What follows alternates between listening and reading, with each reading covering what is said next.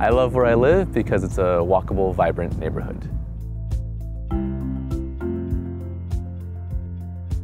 The first thing I do in the morning when we're getting out of the house is I bike my son to daycare, which is about a mile away. I can walk my daughter to school, which is about two blocks away. This is the downtown Mountain View train station. It takes me about six minutes to get here and about 15 minutes on the train to downtown San Jose.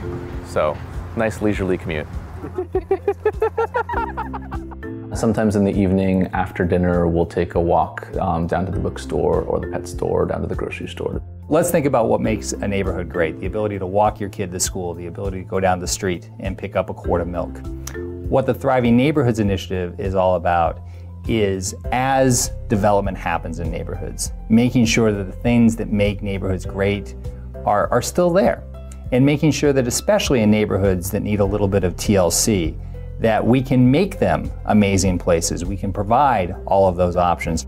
Go get it It's been really important to me to be able to help give opportunities for other people to be able to live down here as well. Working with Greenbelt Alliance has been great. As a group, we have been advocating for more housing closer to transit, more walkable neighborhoods.